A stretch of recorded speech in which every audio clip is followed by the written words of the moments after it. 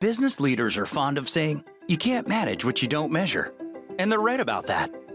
That's why companies have sophisticated accounting methods for important things, like their money.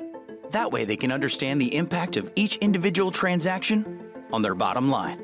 But when it comes to accounting for their greenhouse gas emissions, most companies are still just, well, guessing.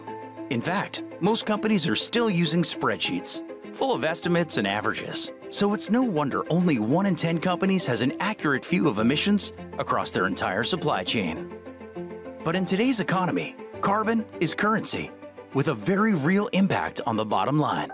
And many companies want to make it an integral part of their balance sheet, measured and managed with the same precision as cash.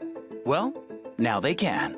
Transactional carbon accounting is an approach that allows you to report and act on carbon emissions using actual data instead of averages. Here's how it works. Let's say you're a manufacturer of bicycles. You already know how much each bike costs to make.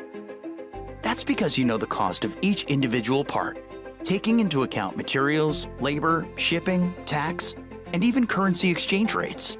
But you want to include carbon in your accounting, so you start measuring the actual amount of carbon emitted at each step of the production process, from the sourcing of raw materials to the delivery of the final product and everything in between not just from your own operations, but across your entire supply chain. The data is real, accurate, and easily integrated into your existing resource planning software and financial accounting system.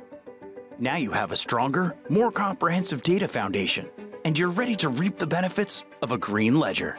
SAP solutions for transactional carbon accounting help you meet regulatory requirements, integrate carbon into your decision making, achieve sustainability goals, and improve the prospects of your business and the world. They say you can't manage what you don't measure, but if you want to do both, get started today with Climate Action Solutions from SAP.